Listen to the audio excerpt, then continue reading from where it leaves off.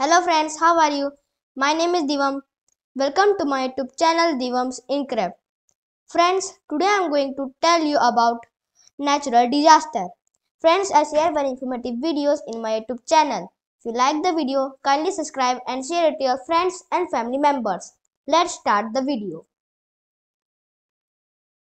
Earthquake An earthquake is a ground shaking caused by a sudden slip or on a fault.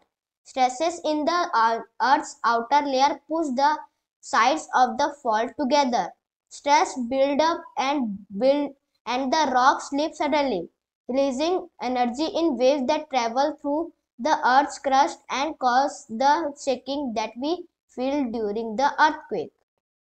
Tsunami A tsunami is a series of ocean waves caused by a underwater earthquake, landslide or volcanic eruption. More rarely, a tsunami can be generated by a giant meteor impact with the ocean with these waves can reach the reach heights of over 100 feet. About 80% of tsunamis happen within the Pacific Ocean's ring of fire. Flood A flood is an overflow of water that submerges land that is usually dry. In the sense of flowing water, the word may also be applied to inflow of the tide. Floods are an area of study of the discipline hydrology and are significant concern in agriculture, civil engineering and public health.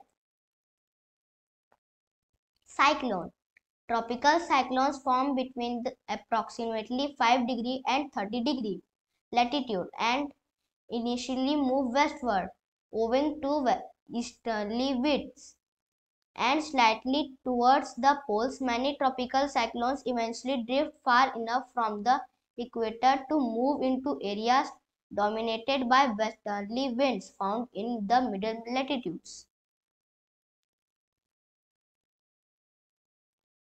Drought A drought is a prolonged a dry period in the natural climate cycle that, that can occur anywhere in the world. It is a slow onset disaster characterized by the lack of precip precipitation resulting in a water shortage. Drought can have a serious impact on health, agriculture, economies, energy and the environment. Landslide Landslide occur when masses of rock, earth or debris move down a slope. Debris flows also known as mudslides are a common type of fast moving landslide that tends to flow in channels. Landslides are caused by disturbance in natural stability of a slope.